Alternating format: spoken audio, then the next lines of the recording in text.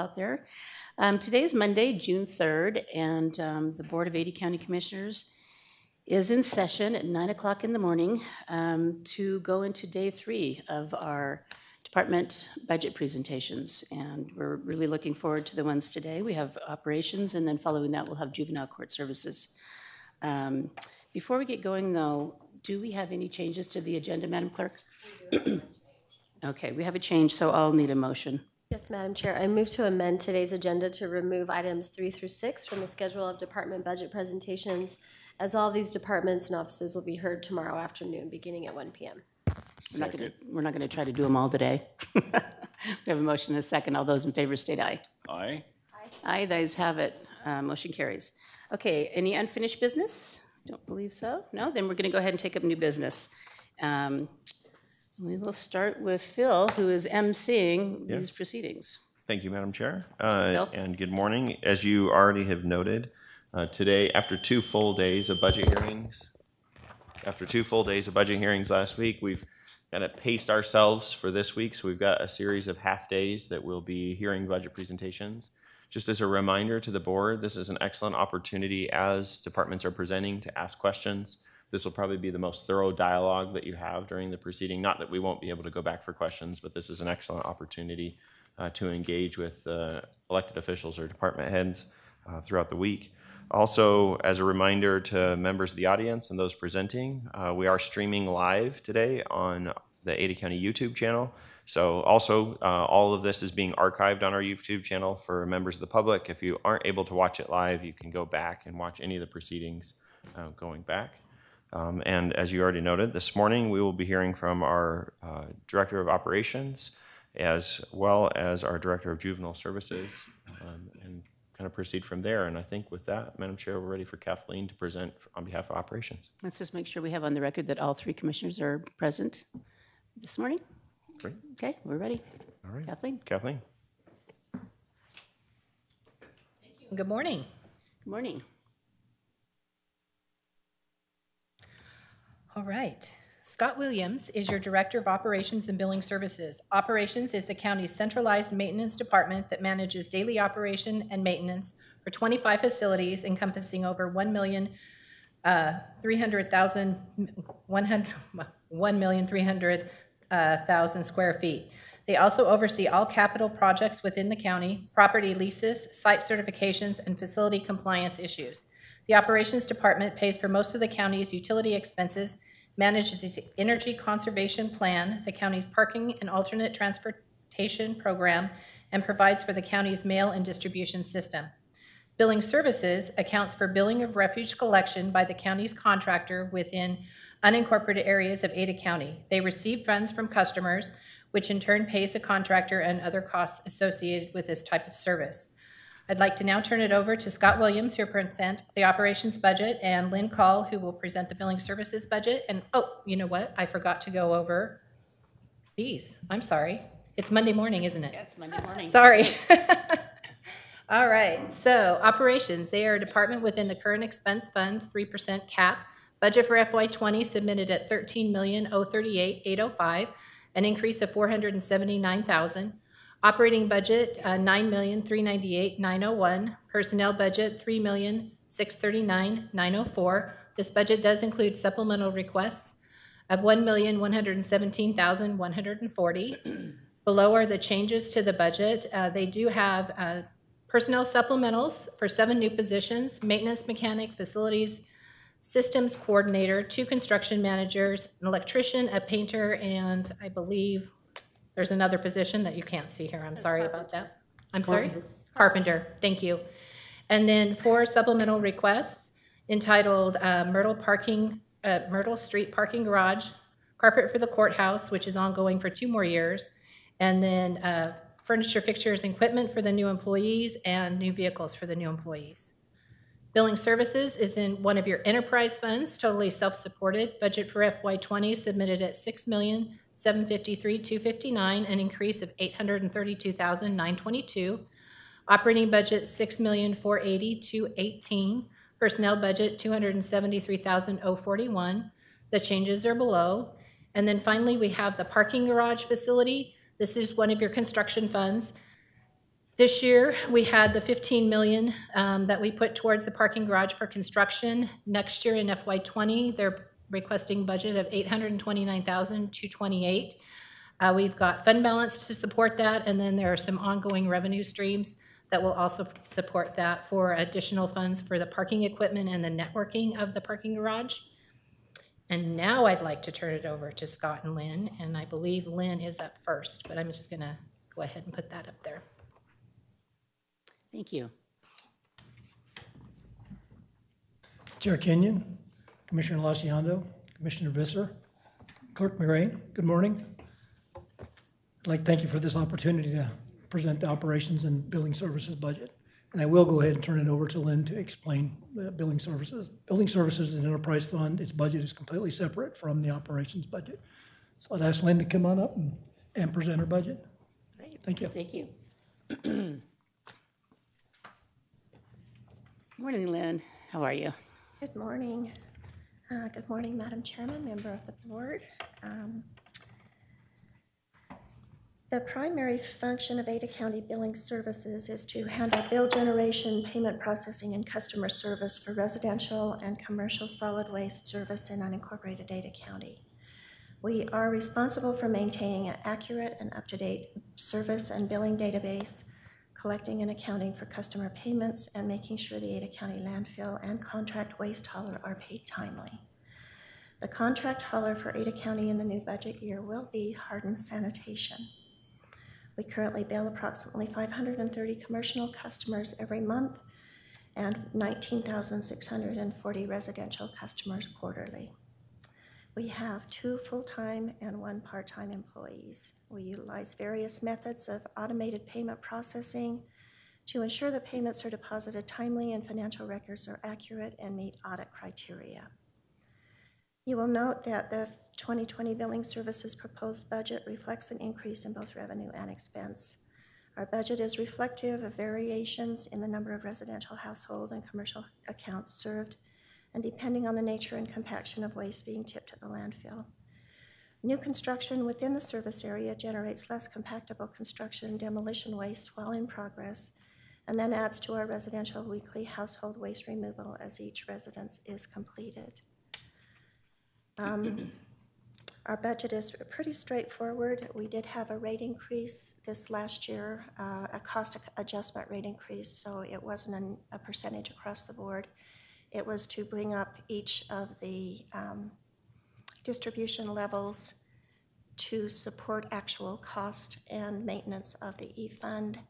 And uh, so we did see a rather substantial rate increase to the customers last fall.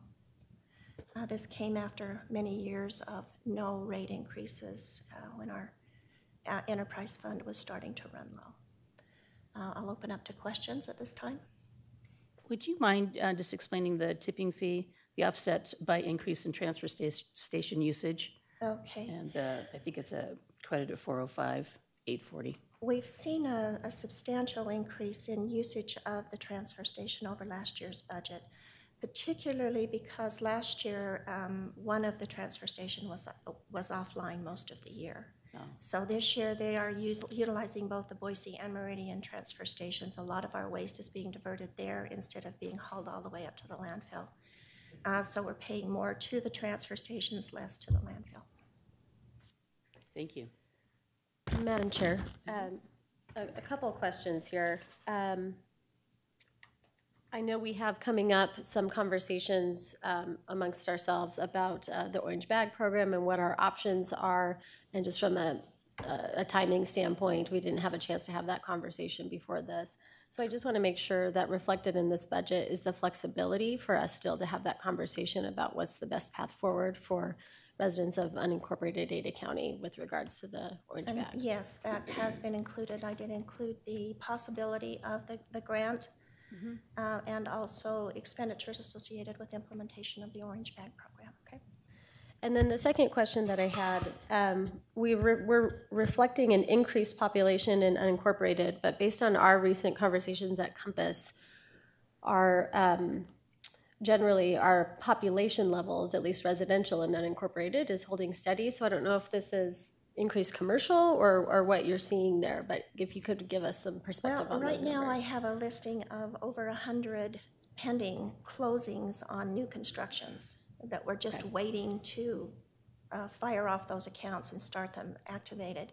And that does not include all of the ones that we don't know about. Those are just the ones that we've received reports from title companies indicating that closing is imminent. Okay, So is that the amount that's reflected in here? It is, And yes. not any other projections? Well, we, we also uh, know that we've got a, if we've got a hundred that we know about, we have at least a hundred that we don't Okay, at this point. so you're taking that into account? We are, yes. Okay. Great. All right, anything else? Okay, thank you. Thank you. Thank you, Lynn. Scott? Thank you, Lynn.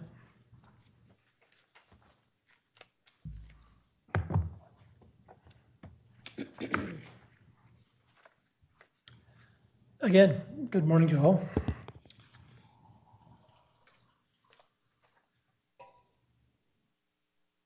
Thank you for this opportunity to present the operations budget. Ada County Operations is responsible for all new construction projects and providing safe and well-maintained facilities for Ada County departments and the public. The mission of Ada County Operations Department is to perform a cost-effective construction, maintenance, and repair procedures to ensure county facilities are safe, well-maintained, and energy efficient. Our staff is our strength. We provide the highest quality service in the most efficient manner. We trust and respect each other while working to support the overall mission of the Ada County elected offices, departments, and citizens.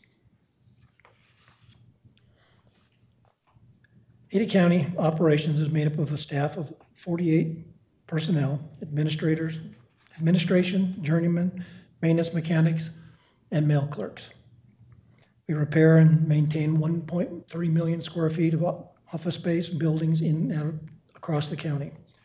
We repair and maintain parking facilities throughout the county, procure and manage contracted services such as janitorial, landscaping, and security in county facilities. We're responsible for new construction and projects. We process and track utility bills, operate a fleet of 33 vehicles, manage employee parking in the courthouse corridor, and provide mail services for county departments and locations. So far this year, we have completed many projects, but here are a few of the larger projects. Carpet replacements.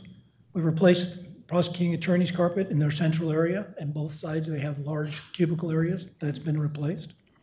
Clerk auditor recorder cubicle areas gotten replaced. We will be starting another project in there to replace the rest of the carpet back through and all the way around into the treasurer's office. Public safety building, main corridors have been upgraded. Courthouse audiovisual system upgrades. We are ahead of our original schedule and gotten more systems upgraded than projected.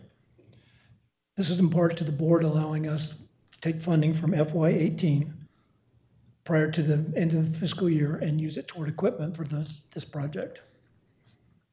The court, courts and the marshals have done a great job working with the courtroom schedules. This has limited our downtime and allowed our contractors to be able to get in and out and quickly. We've completed the following courtrooms. 201, 202, 203, 207, 400, 401, 410, 503, 504, and 510. We've completed tenant improvements for the clerk auditor recorder and indigent. This project included new office space, conference room, and workout area for employees. The clerk au- auditor recorder data and electrical. This project was to install power and data in the new cubicles for the clerk auditor recorder area.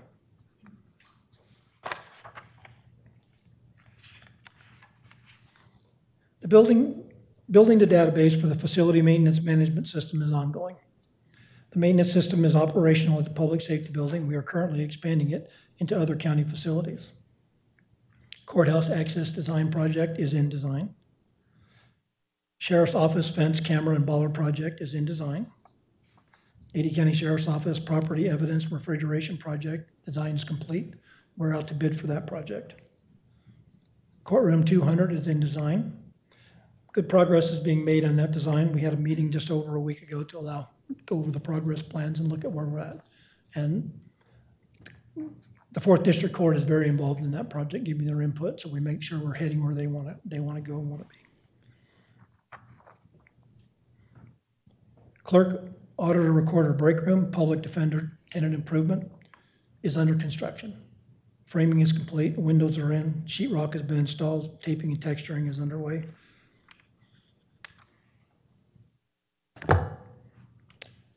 With funding approved by the board, we were able to complete several roof projects this fiscal year. Faces, Expo Idaho Large Animal Barn Structural and Roof, PSB roof sections five and six A are completed. PSB roof sections one, two, three, and three A will be complete before September, by September thirtieth. If not within the next month, they're really moving along, doing a great job. The weather has not really been cooperating very well with us. The public safety building roof electrical feeder and communications project is complete and closed out. This had to happen before roof section five could be completed, and it's also done, so good progress there. Public safety building grounding and bonding, the ground ring is complete, the- almost complete at this time for phase one. Much of the operations budget is dedicated to the items that are on this slide. Repairs, preventative maintenance, facilities maintenance management system in the remaining facilities, inspection of fire, life, safety equipment, elevators, boilers, HVAC. Major upgrades have been completed to the public safety building generator. This generator's been in the facility since it was constructed. Janitorial services, landscape services, security. Parking costs for the Diamond Lot at Avenue A and, and Myrtle will be increased by twelve thousand dollars annually. Operations absorbed this within our budget. Madam Chair, uh, Scott, can I ask a question? And it's, um, it may be a question for you and, and Kathleen. Um, So parking components are coming out of this budget. Um, I know ACHD, I've had a conversation with Clerk McGrane, um, or excuse me, the Ada County um, helps support um, the opportunity for people to take ACHD commuter ride. Where in our budget is that reflected? Does, do we, where would I look for that, Kathleen?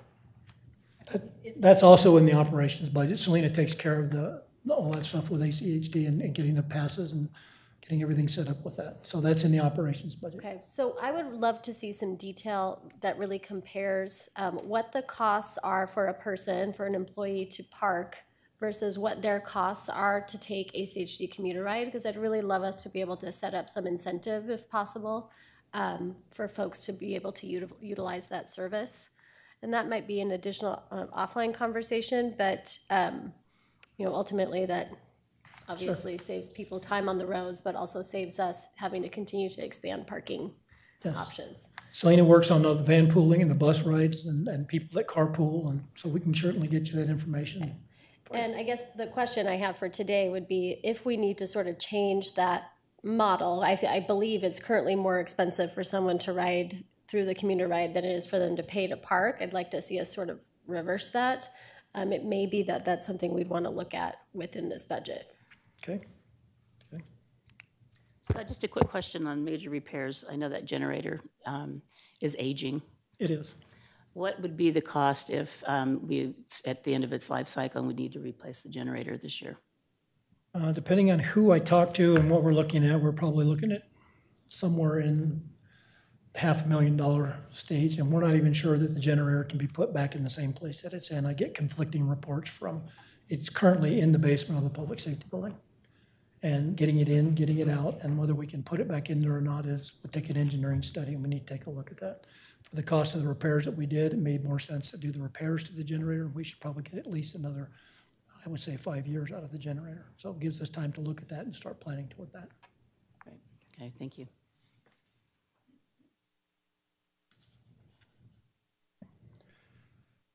Uh, Sewer costs are expected to rise with newer and tighter federal regulations and with major upgrades to the Lander Street Water Renewal Facility. We anticipate a seven percent increase in annual, or sorry, seven percent annual increase for the foreseeable future. The ongoing construction boom is making getting bids for smaller projects difficult. Some of the projects we bid, we get one person, one bid, and maybe somebody, nobody shows up for them. So it is getting, it is getting harder. Good quality workmanship is getting harder to get without consistent overseeing of the, of the contractors. Many of our existing systems are at the end of life. HVAC, automation controls, the AV systems, security cameras. Many of them require updating. In some cases, the systems will no longer work and are no longer supported and will not work with the latest versions of computer software. Parts are less locally available, and if we are available at all for the systems, we have to order them in and wait for parts. So Scott, my understanding is um, with the new software that we have, Dude Solutions, um, we'll be able to enter all of this in, hopefully this year, this coming year. As we build the database, we'll have more and more information, and it will give us projections on costs and when things need to be Timing, replaced. costs, all Timing and costs, and, and that, Mike and I were just looking at that the other day.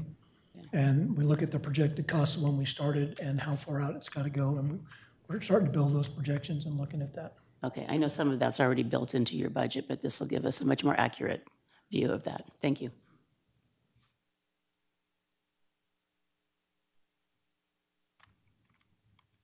Oh, let's see. All of these systems will need to be upgraded or replaced sooner than later.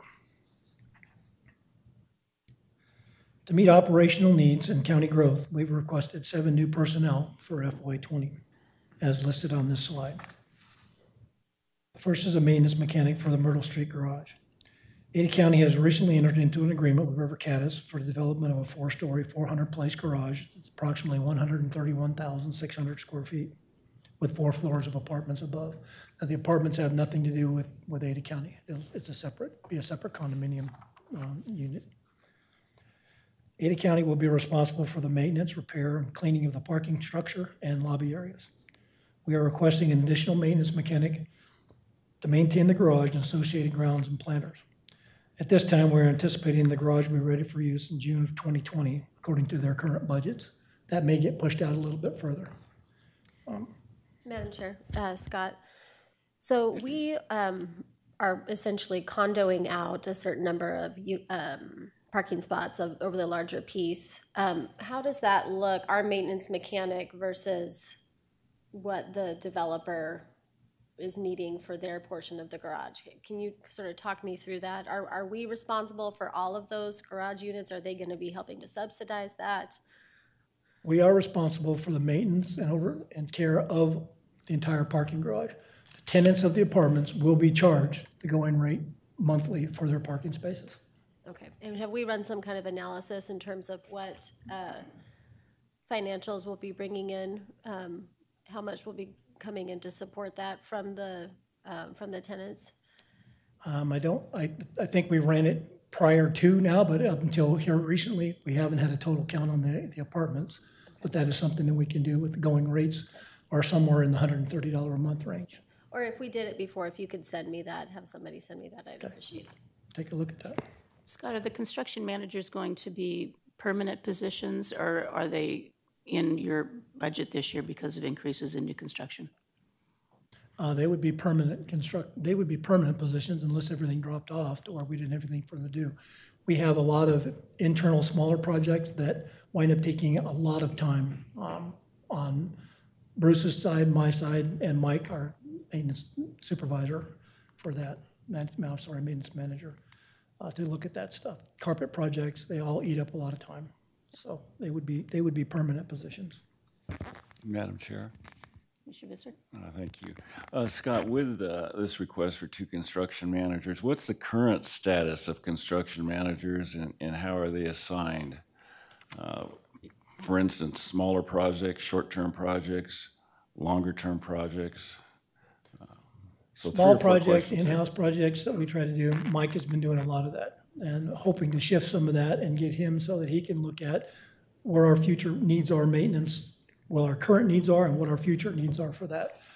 So that would help Mike out with that. Currently, we have one construction manager position. Uh, we hired a person for that position, that person gave us their resignation, we're out to, we have a job opening, we have interviews set up right now to hire another construction manager at this point we haven't had anybody in there for quite a while, and it's, it shows um, on what we can actually get, get accomplished and get done, because manpower is just stretched to the, to its absolute limit at this point. Thank you. So funding for the Myrtle Street garage for six months for an employee for that would be twenty-seven thousand nine seventy with a total cost of fifty-five thousand nine thirty-seven ongoing. Facility Services Coordinators, next one on the list. As you're aware, Scott, I'm sorry, before we move on, go ahead. um, going back, and I'm not saying facility dude software just to say dude software, but um, I love the name. So I'm looking at administration, it says maintenance of the software, so is that 45,000? Walk us through that, is that just, is that the maintenance that we can expect every year, or is that? That's an ongoing cost for all of our facilities covered under that one maintenance service agreement. One agreement.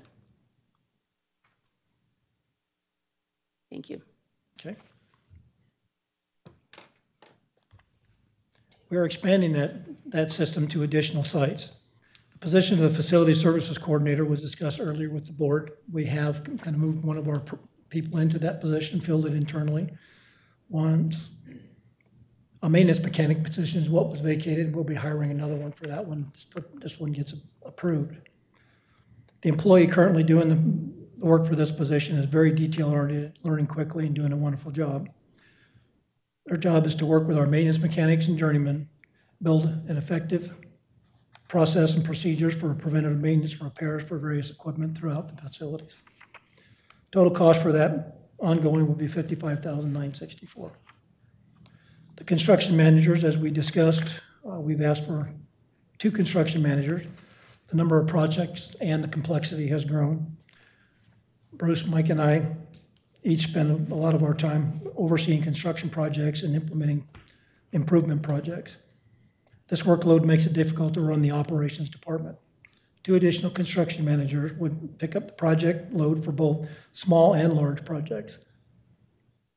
This would allow Bruce and I to focus on the running of the department and Mike to focus on the maintenance and current future needs of the county. Ada County has experienced a major growth period as a result. There are expansions and facilities in the planning and construction stages. New facilities are needed and will be coming online in a, in a not-too-distant future. Operations will need to have the staff ready to oversee these projects, finish and be involved in the transition from construction to the maintenance phase. Two additional construction managers will allow us to do that.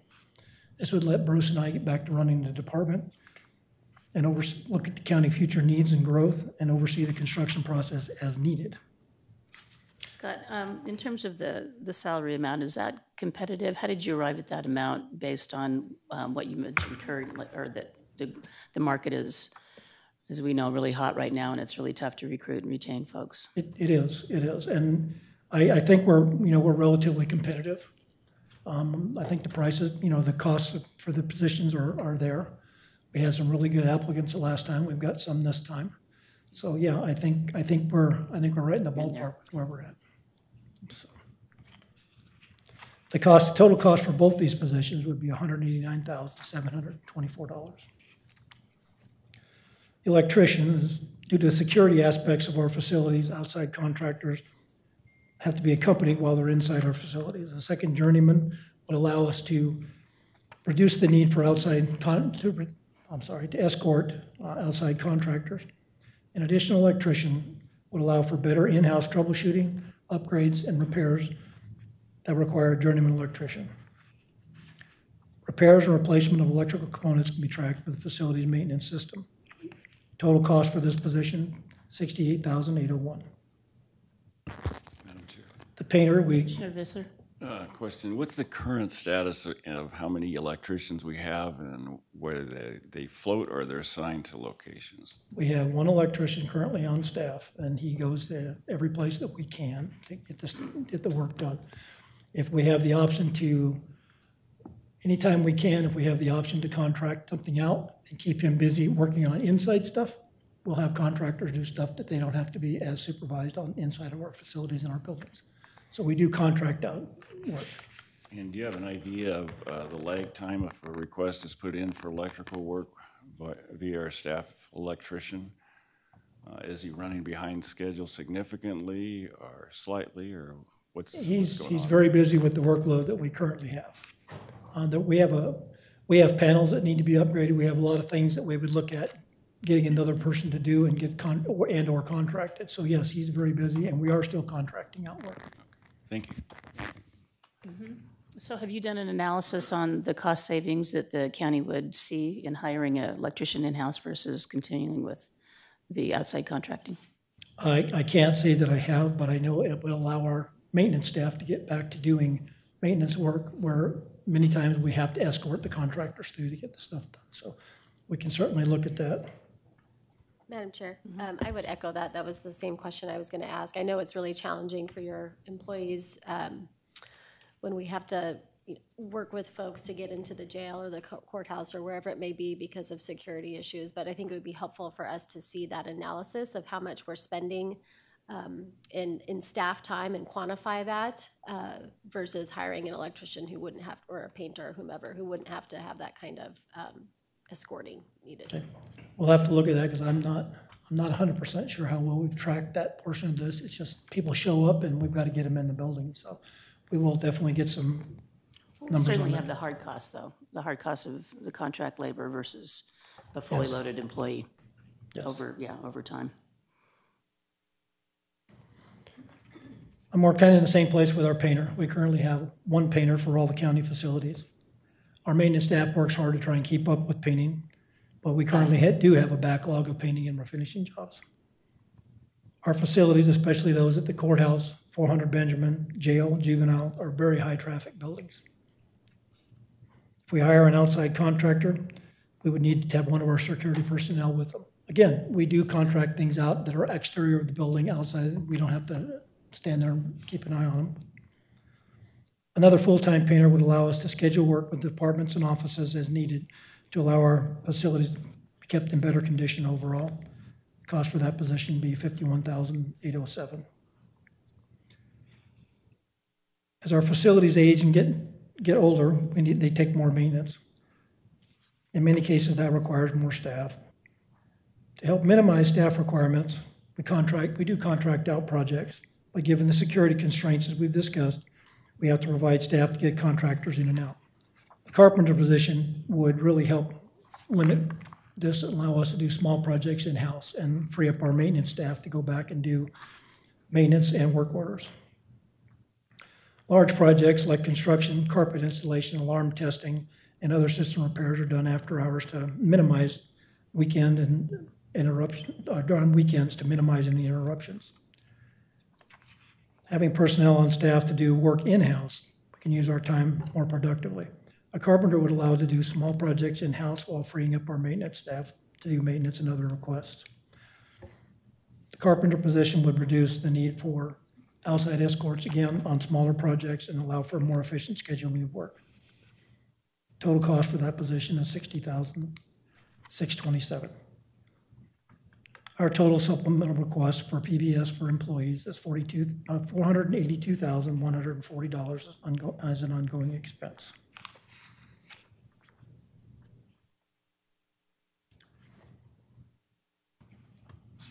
I'll now go through our supplemental, our supplemental request through, through FAB. This isn't the parking garage, it's separate. This is still part of your operations budget. The parking garage is, yes, the parking garage is, is separate. Um, This will be in our budget, what you're looking at, what you're looking at here. What we did ask uh, for access to for the parking garage is the fund balance that is in the fund for that garage, which was eight hundred and twenty-nine thousand, two hundred and twenty-eight dollars, so that we can get the uh, parking systems installed. We have fiber optic that's got to get into the building uh, in the operation and installation of all the parking gates and the access control system and cameras. So we've asked for, we've asked for funding, we asked for access to that funding, and that's been set up so that we can access that during the construction phase, so we can get those items put in.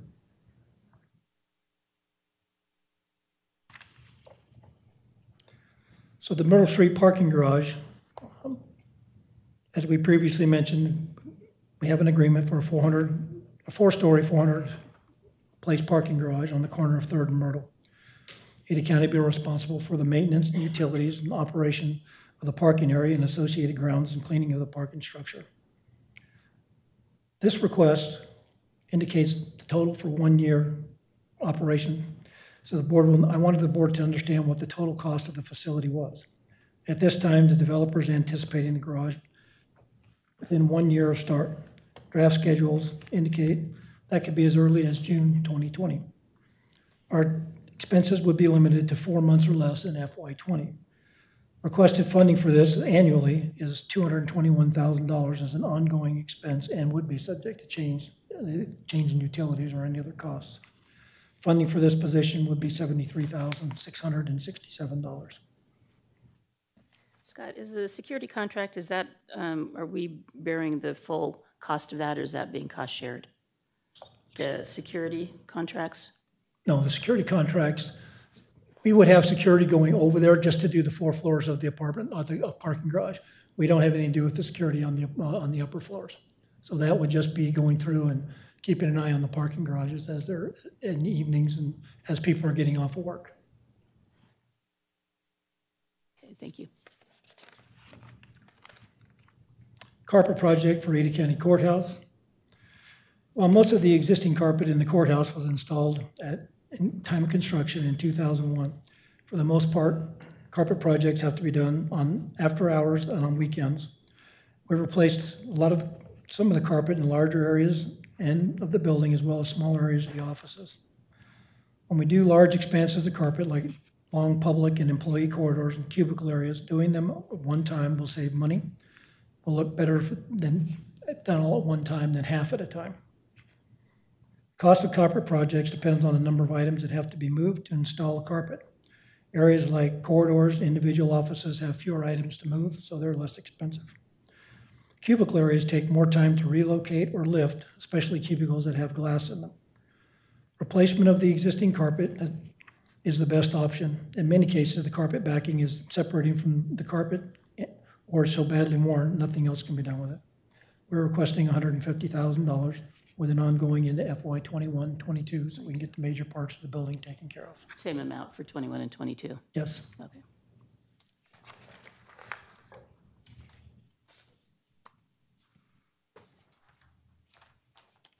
Request number three is for furniture and fixtures for new employees.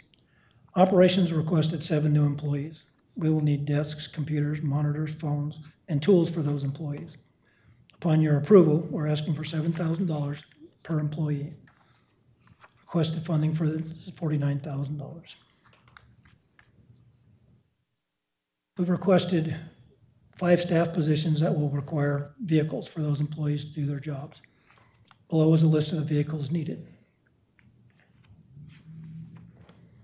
We have two for the construction managers, one for an electrician, one for a Scott, carpenter. Commissioner Yes. Lachiondo has a question for you. Thank you. So when we can see that analysis, that includes um, what we're currently paying contractors and hopefully some kind of association of the folks who need to uh, accompany them.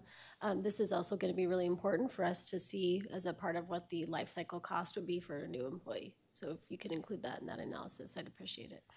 Okay. Thank you. Again, upon your approval, the total request funding for vehicles is two hundred and fifteen thousand dollars. Are we leasing or purchasing these vehicles? No, we would be purchasing the vehicles, and when we look at what the costs of the vehicles are typically on state contracts and other contracts that are available to us, it's, uh, there's no, almost no point in buying used vehicles because of the cost differences, it's not there. Plus, they're new, they've got a year warranty on them. Um, And we know, we know how long we'll keep them, that we've maintained them and where they've been. So there's some pluses of buying new. Thank you.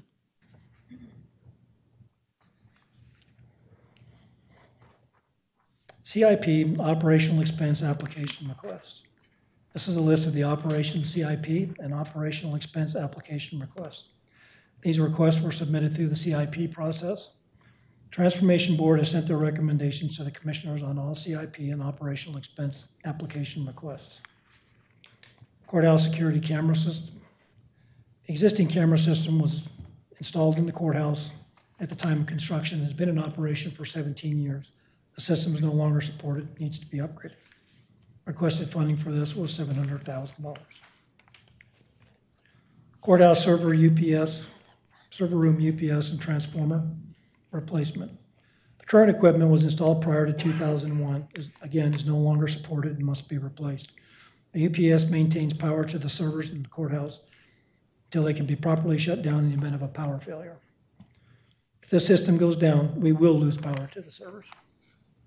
Request for this funding is $310,000. Juvenile security upgrade. Um, Scott, did we ever find out on the transformer here at this building if Idaho Power owns it or if we own it? We own, we do own the transformer. I have asked Idaho Power to take a look at if it can be transferred over to them, if they can take it over, and what that would take to have that happen. I did receive a call, say, midday Friday. I did not get a chance to get back to our account manager. She asked me to call her referencing that. They have been out here to look at it. I don't have that answer back from them yet. They've been going through and, and doing an analysis on what it would take to do that. Let us know. Okay. Get that, thank you. Sure.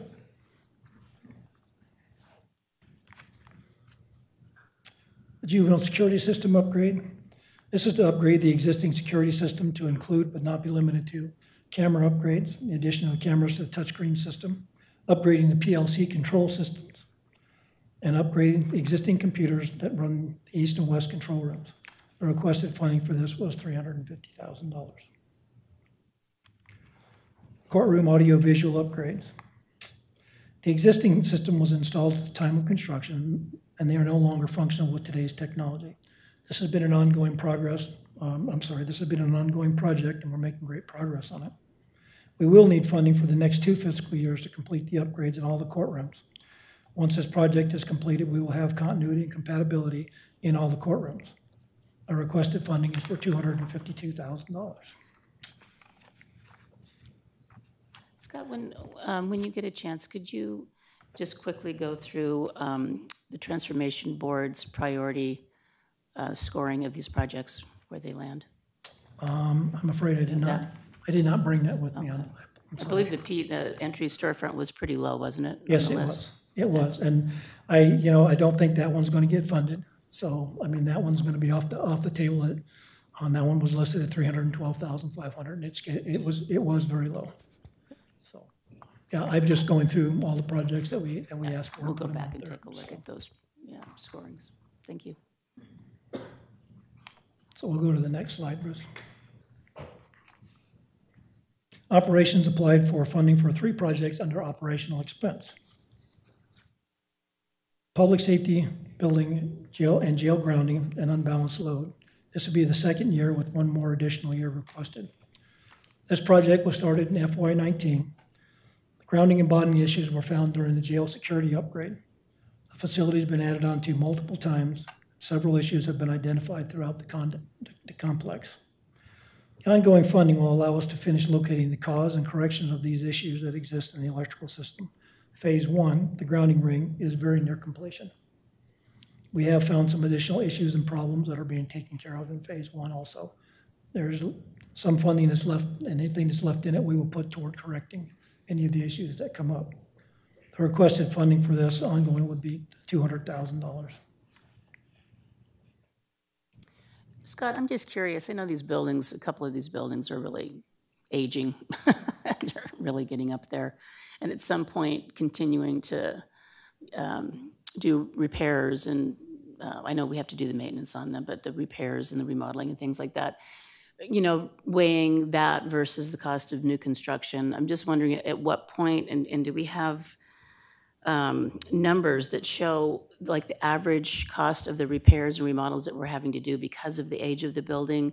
Are we tracking that so we could get that, just for example, the, for the PSB building and for the juvenile court ser- uh, systems building?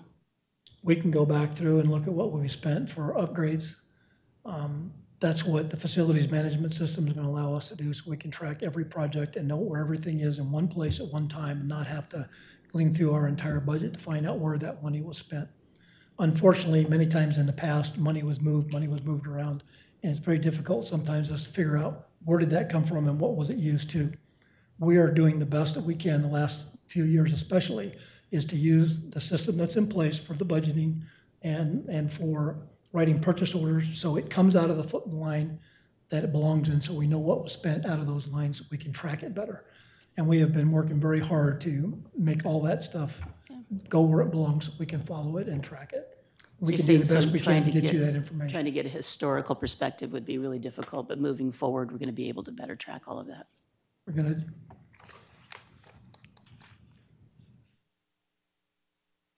the Public Safety Building in Ada County Juvenile Court Services HVAC control upgrade.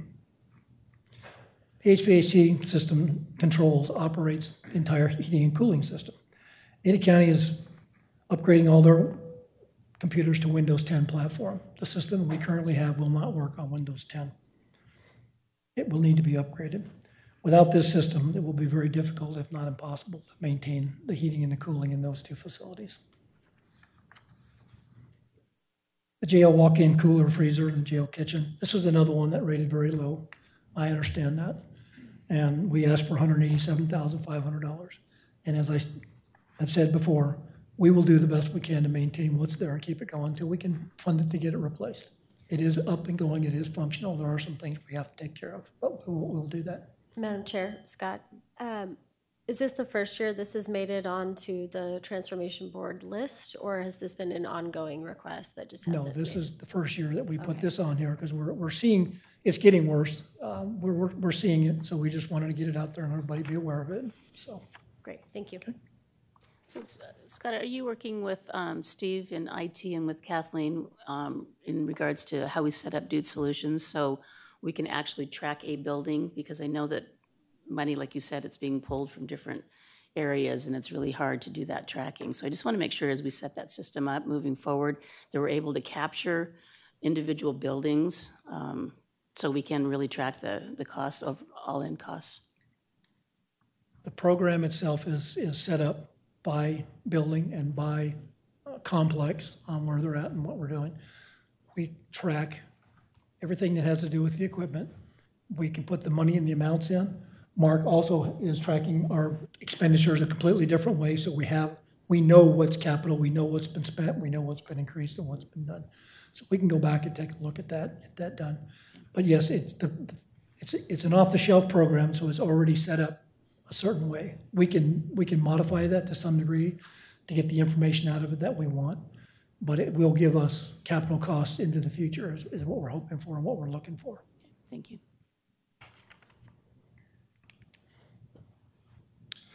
I'll go ahead and summarize the operations budget. Our personnel budget is three million, six hundred eighty-seven thousand, three hundred and seventy-six dollars. This includes additional personnel to meet maintenance and construction needs. Our operating budget is six million, seven hundred seventy-three thousand, five hundred ninety-three dollars. Our capital budget is two million, six hundred twenty-five thousand, three oh eight. Total operations budget is thirteen million, eighty-six thousand, two hundred and seventy-seven dollars. This includes PBS and FAB supplemental costs, requests, I'm sorry, of one million, one hundred and seventeen thousand, one hundred and forty dollars. Again, I'd like to thank the board for your support and your time and consideration of this budget. I'll stand for questions. Thank you, Scott. Appreciate that. Any questions, Commissioner Visser? Uh, Yes, Madam Chair, please. Uh, Scott, looking at uh, your first handout, the spreadsheet on the historical review of operations, um, there's no entries for grants, uh, neither for operating budget or personnel budget for the four years that are shown. Um, Just flipping over to the next uh, presentation coming up, uh, juveniles, they have sought and received significant grant funding uh, to the tune of, it looks like, almost twenty-five percent of their personnel expenses. Uh, Do you have anybody in-house that uh, searches for grants? And has there been applications in the recent history that you're aware of? Typically, with grant applications, they're left up to the departments that we are doing the work for. No different than what Tony got a grant to do the uh, public defender remodel that's going on now. And that's up to the departments, and we can work with them and we can help them. Same thing was done for the portions of the bike path. We looked at getting grants for that. Um, Scott Colberg was, and, uh, and our department worked together on those. So typically, it's up to the department. Sheriff's Office got a grant through Homeland Security for the bollards and the cameras and the, and the fencing project. So the revenues are reflected in the individual department, but the expenses are coming out of yours. The expenses would be moved into an account, and that money would come out of that line item for those expenses, is what's happening with How we're tracking it. with uh, the public defenders projects, we track the expenses and let them, if it's in a separate line item that they have to pay for, then we let them know that the applications for payment have been paid, are okay, the work's been done, and they can go ahead and pay them. Madam Chair, maybe as a clarifying point for Commissioner Visser, um, comparing to juvenile, juvenile's funding is the SIG block grant money that they, it's not pursuing grants in the same manner that is being referenced here, so just as a distinction. Also, generally speaking, we aren't budgeting those grants, like other grants, if we get one. Uh, what we'll do is we'll open the budget during the fiscal year when we receive the grant funding and add that additional money in because of the unpredictability of grant funding. Um, we, we talked about last week in terms of you know, I think Commissioner Lachiondo suggested, how can we be more strategic? But that's a different approach than what we'll hear from Director Burns in terms of her grant funding. Did you have a question?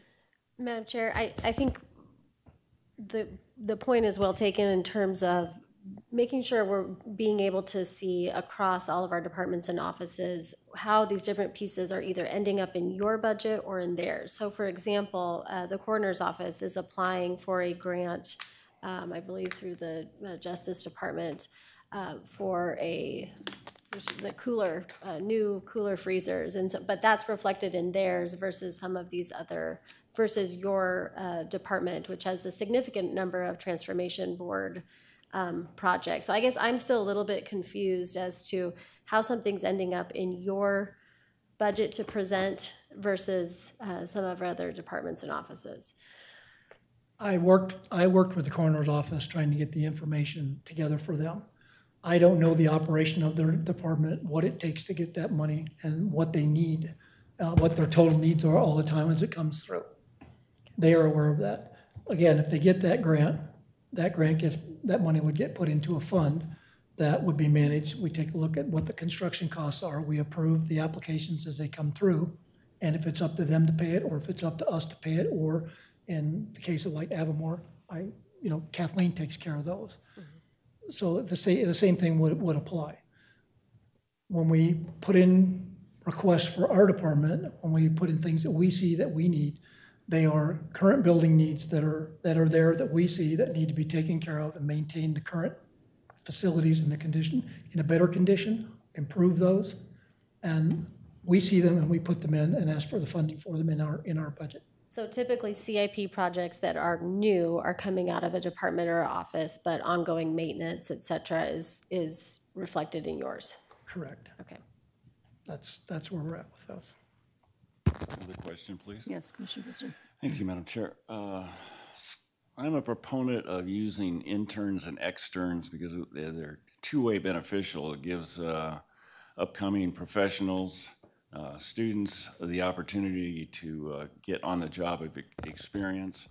Uh, Mentorships can also uh, enhance their, their career opportunities, and, and then we have the opportunity of, of bringing on someone uh, either at a low salary or no salary if they have college credits for their externing time. Um, Do you have any externs in-house right now, and what has been your policy on using externs, say, in the last five years? We currently have one, she just graduated, she's been working with Selena on the energy management and keeping all of her utilities up to date and looking at other ways we can save on utilities and being energy efficient. So we have one, we had one previous to her, so we, we have used them in, in that capacity. I would have to really look and see what else is out there that would, that we could use and that would benefit our, with us. And that's one of the things that would allow us to sit down and go back through. If we weren't so busy with the day-to-day operation of the maintenance uh, or construction projects, it takes time to sit and look at those, those and see where we're gonna go forward with them. And I would be very happy to take a look at that. It just, it all just takes time at this point. But we do currently, we do use one person right now. Thank you. Thank you. Okay, anything else? All right then. All right, Thank you, Scott. again, Appreciate thank you your all very time. much. Hope you have a great rest of the day. Okay, Thank you. Thank you. Turn it over to Phil to guide us through this process. Uh, Madam Chair, we're scheduled for a break at 10:30, but I think the break is between uh, operations and juvenile. It may be appropriate now, maybe take a break till 10:15. I'm assuming, knowing Director Burns, she's more than prepared uh, to get going once we get back. You okay with that, Dawn? I am. Okay, great. All right, then, we'll take a recess. Board of Ada County Commissioners, we're back on the record for our department budget presentations, and it looks like next up, we have um, juvenile court services. And Phil, would you like to lead us through this? Madam Chair, I'll turn it over to Kathleen. Thank you.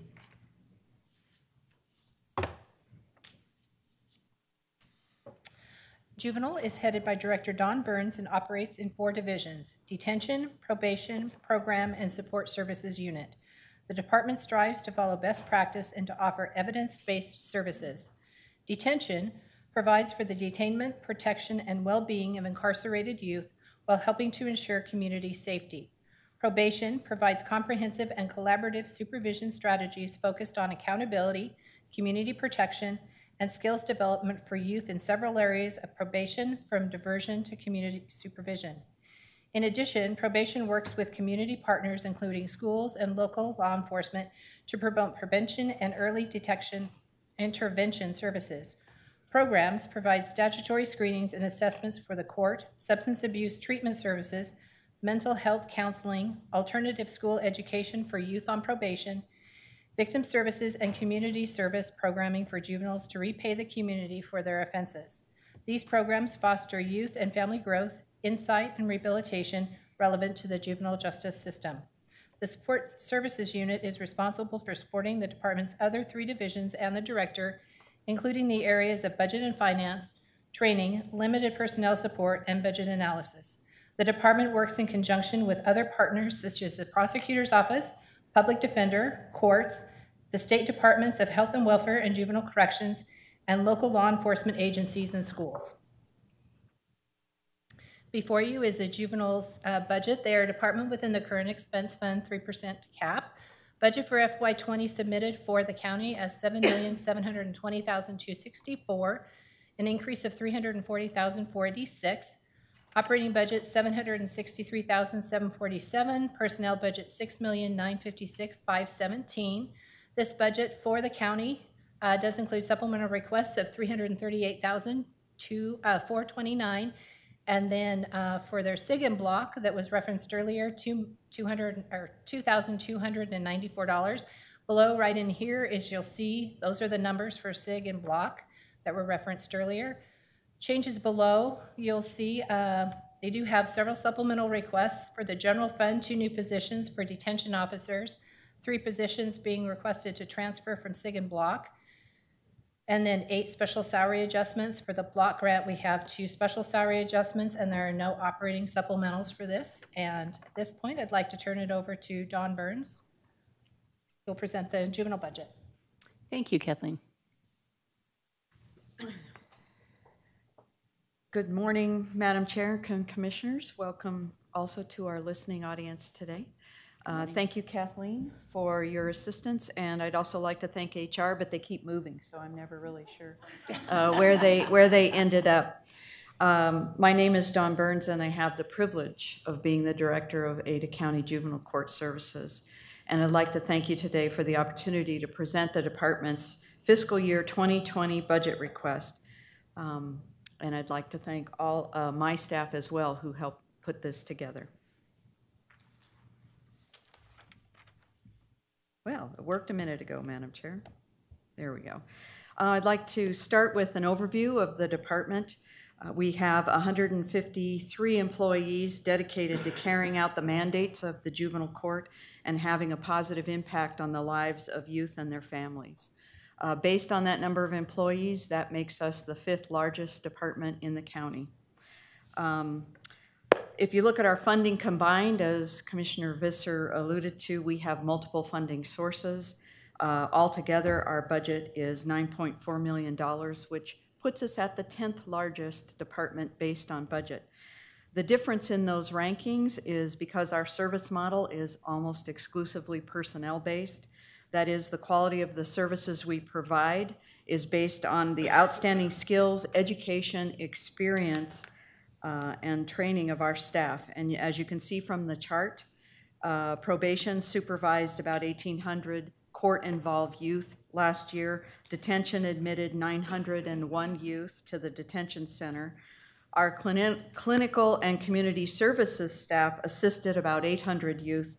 And um, in addition, just to call out, our probation staff also served 511 juveniles through our diversion program, which means these juveniles never touch the court system, um, and at least most of them don't. So uh, we find that one of the best success of the department.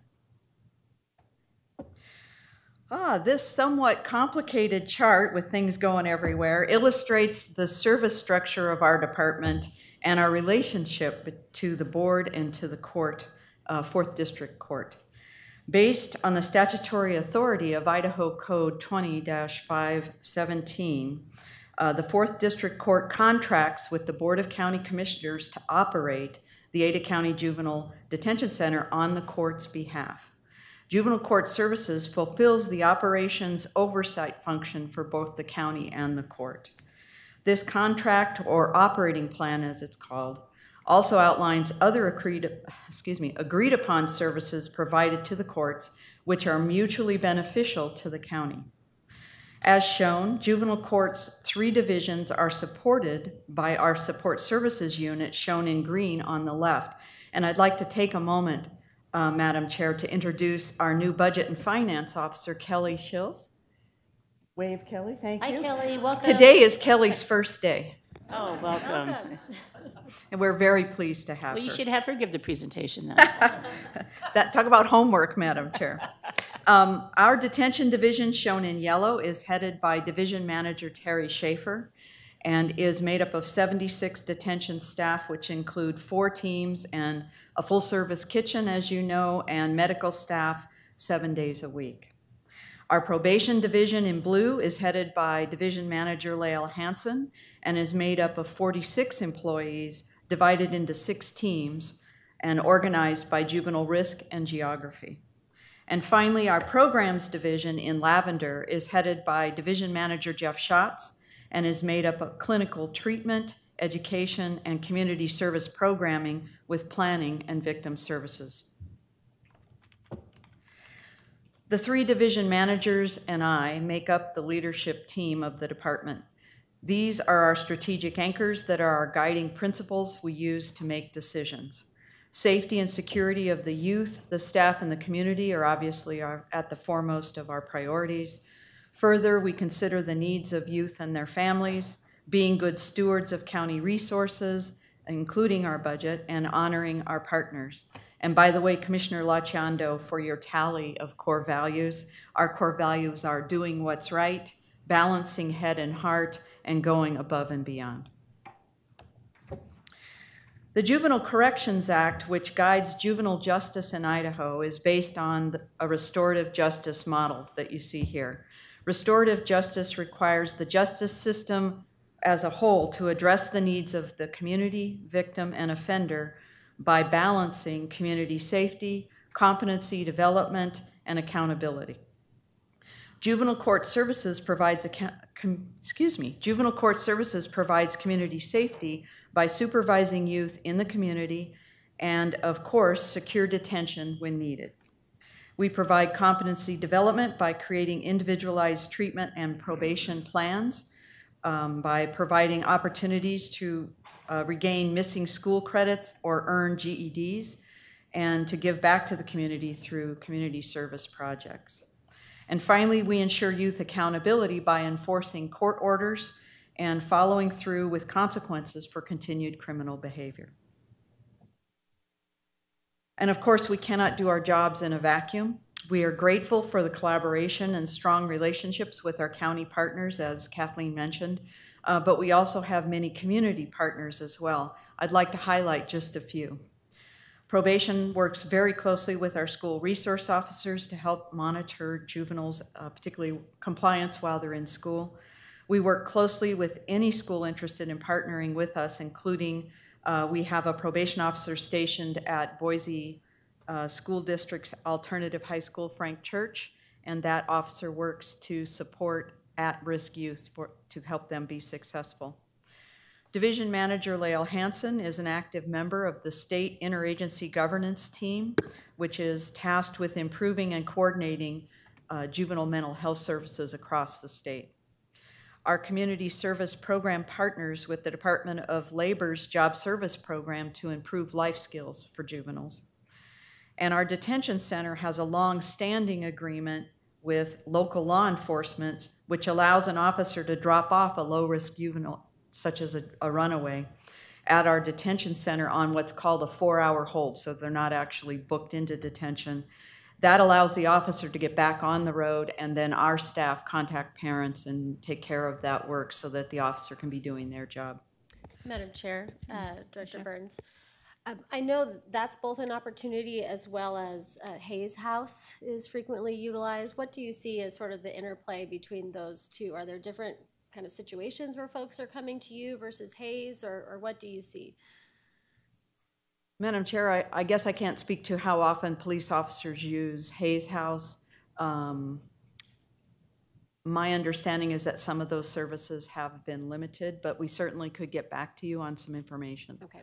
I know uh, through some work I was doing last year that um, there was some work to try and increase the use of Hayes House to make it more, um, just make it easier for law enforcement to utilize that opportunity, which would certainly um, alleviate, if, the, if we can continue to work on that, alleviate some of our resources being used over at juvenile. So I will, we'll have that offline. Absolutely, yes, absolutely. Thank you, Commissioner, yes.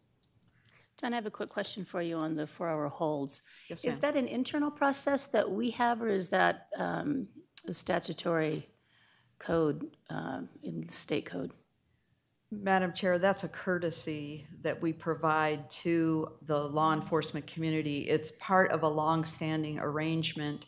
Uh, When juveniles come into detention, we, uh, through an agreement with law enforcement, perform an assessment called Array, and that gauges the risk level of the juvenile as they come in. And the agreement is that detention, the officers will generally honor that, so that, for example, if a a juvenile comes in and they're low risk enough to go back out into the community, the law enforcement officer will agree not to charge uh, that juvenile. Occasionally, they can override, but that was part of the original agreement when we put that ray into place, which keeps juveniles who don't need to be there out of detention. Is, does this count um, towards your statistics that you're gathering on your diversion program, or is this separate? This is separate, Madam Chair. These folks would not be necessarily considered court involved at this point. Thank you. But they may end up, let me finish, I'm sorry, but they may end up in a diversion program depending on how the prosecutor decides to move forward. Yeah. Sounds like a good program. Thank you. Okay, to move on to our FY19 accomplishments, uh, I'd like a- again to thank the Board of County Commissioners for your support and generosity. Our accomplished this year uh, were many, but just to highlight a few. With your support, we completed implementation of career paths across the department, and so across all three of our divisions. Uh, Probation programs and detention employees can now pursue growth opportunities that will help them progress through a career path with the assistance, and I'll talk a little more about that as we go on. Uh, with the assistance of uh, our operations department, we have started construction on a safer entrance to our Benjamin probation office. Um, this will allow clients and families to conduct business with the front desk, such as making a payment without ever actually entering the probation office. This will increase staff safety, and as, as you are aware, at that Benjamin facility, there's a lot of pedestrian traffic that accidentally come into the office, that, that will cut down on that as well. Um, the funding for this particular project actually came through our SIG uh, grant funds. So that is not, that's one of the reasons you didn't see it in Scott's budget. Uh, with your support, we have completed the first phase of probation supervision training called EPICS. I know you've seen that come across your desk. This training was developed by the University of Cincinnati and is based on current best practice uh, for effective, efficient, and client-focused approach to probation supervision. So tuning that up. Dawn, are we able to do um, T3 training on this, train the trainer, so we pay for it, and then we can continue to, you know, use our own internal subject matter experts?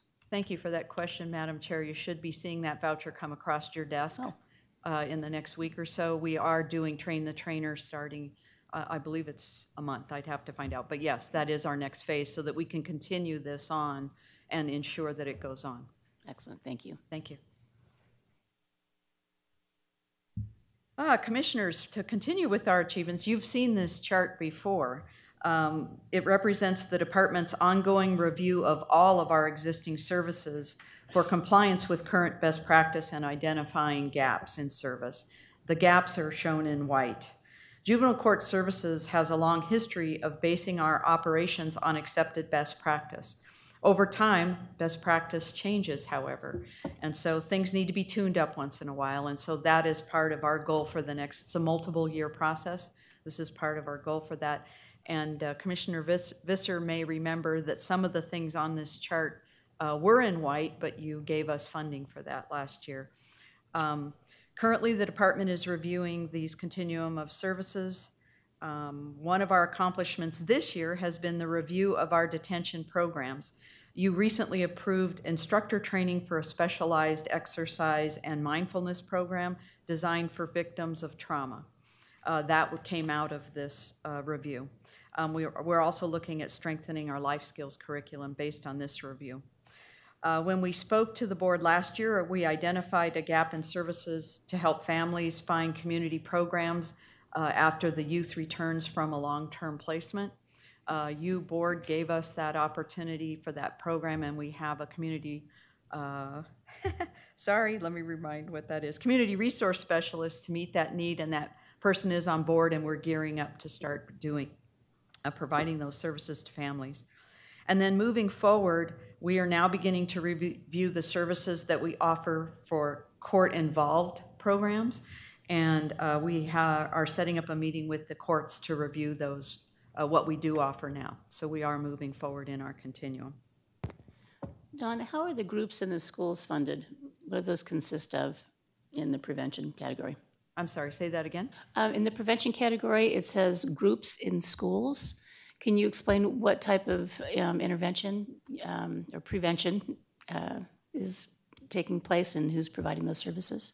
Thank you, Madam Chair. Yes, our probation officers have uh, really great partnerships with the schools. We provide girls' circle and boys' circle in the schools. We provide uh, training in the schools and at uh, just on you know law and and ways to interact with the classroom, uh, and particularly at that age group where, where kids need to hear that. And then also, uh, just because we understand at the, for prevention, we understand that reading is such an important por- part of keeping kids out of the criminal justice system. It's been shown with research that it, it is just key. Uh, we do actually have some of our probation officers in schools doing, working with reading programs as part of that. Do we have any foundations in our community that address this particular practice of providing this wonderful education in the schools that we can partner with? Madam Chair, I, I am personally not aware of any, but I bet my people are. I could sure get back to you on that. I know of a really great program in a community that works really well if you guys would like to take a look at a model. Uh, Absolutely, Madam Chair. Are we, okay. All right. Each year, the leadership team develops budget goals in line with our plans for the year. Our top budget goals this year are to ask you to continue to support our career paths across the department and to help us address compliance with federally mandated detention staffing ratios. Before I address our budget request, however, I'd like to say a few words about our unique funding sources, uh, as Commissioner Visser mentioned earlier. As you can see from the graph, about 80% of the department's funding comes from general funds for a total of about 7.4 million. The remaining 20% comes from state pass-through funding and through grant funds, including the detention clinician grant, the juvenile corrections block grant, and the cigarette tax funds.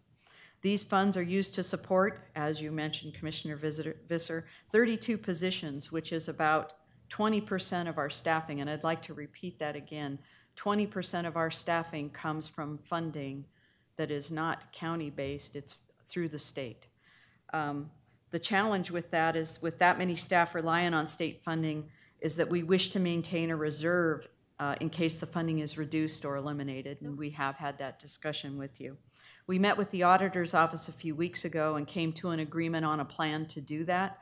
And based on that plan, we've withdrawn our request to transfer those three positions from grant funds to general fund. Um, I believe on the chart that Kathleen has, it shows up as about two hundred and twenty thousand, so that amount would go away then. So we're still funding that through our, through our grant funds. Okay. Madam Chair, um, just rejogging my memory here, um, one of the challenges that we're having, um, a, a good challenge, is that uh, folks are smoking less, so we have less uh, cigarette tax funds coming in. Um, However, we are seeing an uptick in vaping, certainly, um, and one of the concerns from a youth perspective is that sort of a gateway to regular smoking. And we've talked about potentially working with IAC to um, include vaping within that cigarette tax.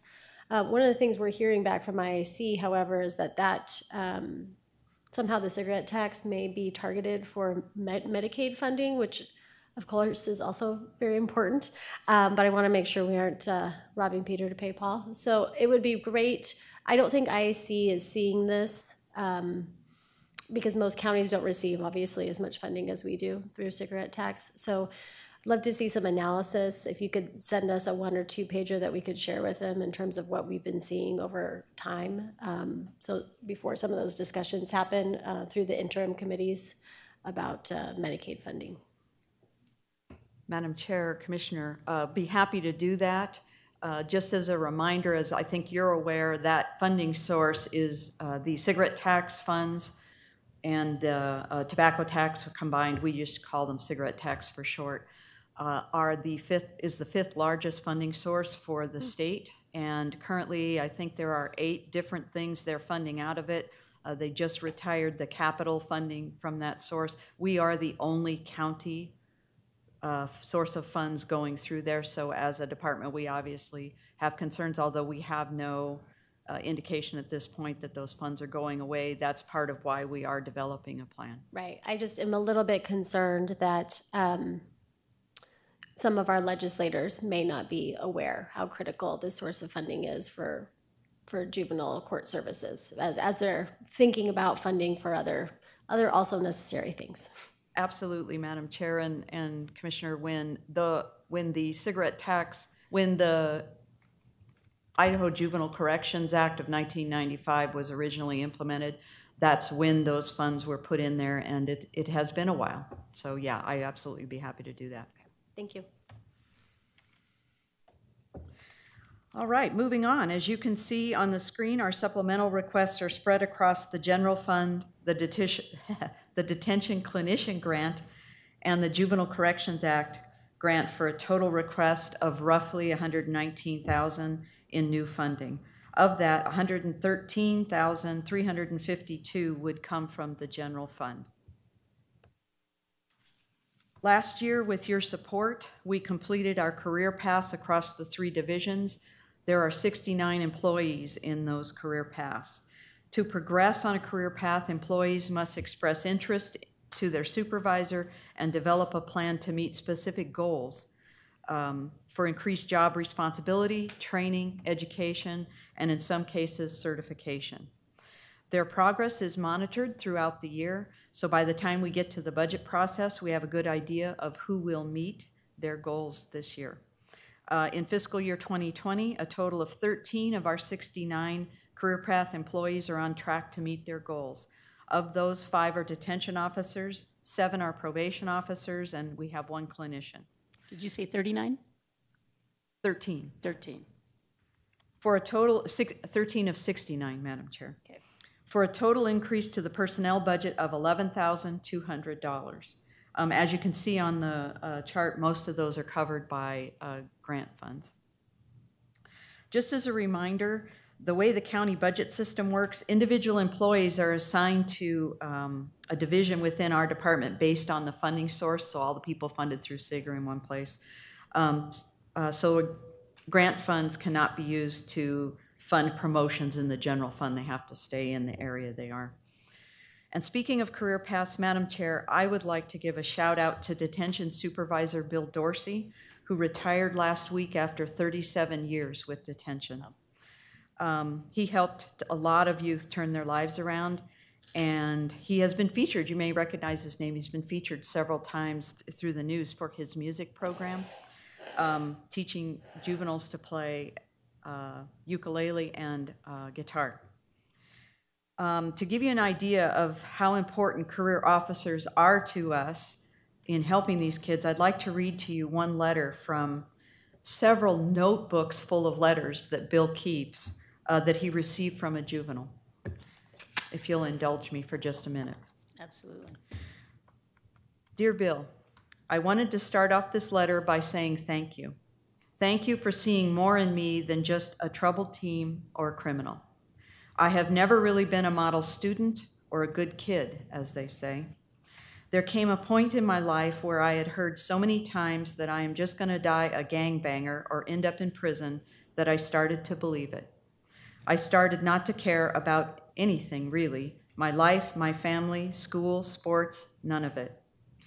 I learned one thing growing up in gangs I learned how to tell when people are lying to me and being fake. A lot of the times my life depended on it. I learned how to tell when people are lying to me and being fake. Oh, sorry, skipped a line. When I came here, I instantly started liking you because I could tell you were real and actually cared. You weren't here to get paid, you were here to help. You taught me how to bring myself healthy joy. You taught me how to express my feelings without ever talking and just playing the ukulele. I really mean it when I say thank you. Thank you for believing in me. Thank you for teaching me to play. And if I had a dad, I would want someone as cool as you. Madam Chair, Board, it's outstanding career employees like Bill Dorsey that help us change lives. I ask that you would continue to fund our career path this budget year to promote those.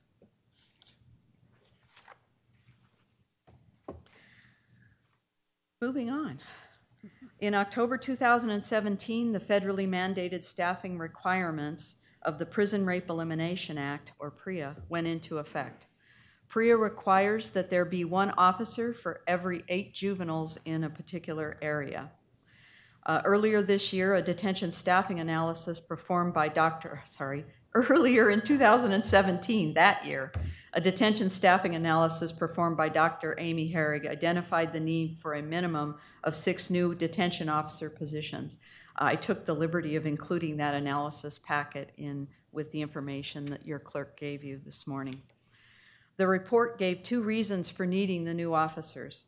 First, to meet the federally mandated staffing requirements, and second, to increase our relief factor.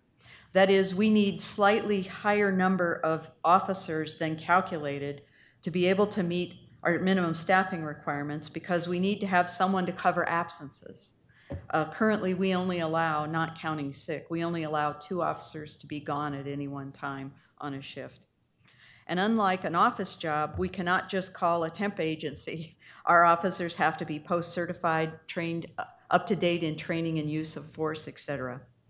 Um, to cover absences, particularly uh, long term if we can, but even call ins, uh, we use a combination of temporary on call employees and overtime. In 2017, we requested six new officers and were given three. Fortunately, our detention population dropped to historic lows uh, over seven, fiscal year 17 and 18, and we were able to meet our staffing requirements using our on-call staff whenever possible and asking existing officers to work overtime. However, starting last fall, our population almost doubled from the prior year's lows. Add to that a difficult flu season, two training academies, and a tight labor market, and we had more staff absences than we were able to fill. We relied heavily on our on-call staff and existing staff, but have been out of PREA ratio several times this fiscal year. The need for additional staff to increase our relief factor is clear. Our detention overtime budget is maxed out, and our on-call budget is well over budget. Uh, we'll be covering that with salary savings. It is expensive to routinely pay people time and a half to cover needed shifts. So whenever possible, we use our on-call staff, which is paid at straight time. Our population has since come back down to kind of average levels, but we still need to address our relief factor. We are asking the board to fund two new detention officer positions to help boost our relief factor for a total impact of $108,000 to the general fund. In conclusion, I've prioritized our two requests. We consider the promotion of existing employees to be our highest priority, followed by the need for the two new detention officers.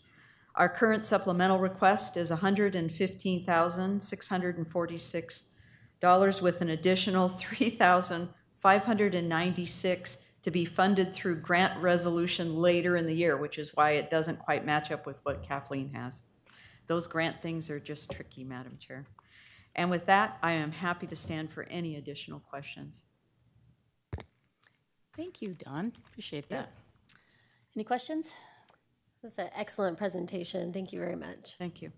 Just wanted to appreciate again um, the evidence-based and best practices that you use um, over there at the center. I think that's um, really helps us kind of track um, and the taxpayers that we are using uh, state taxpayers' funds wisely and effectively. Um, Also, if you could extend our appreciation to Bill for his service. um, Absolutely, Madam Such a great mentor, and if he wants to volunteer anytime, right?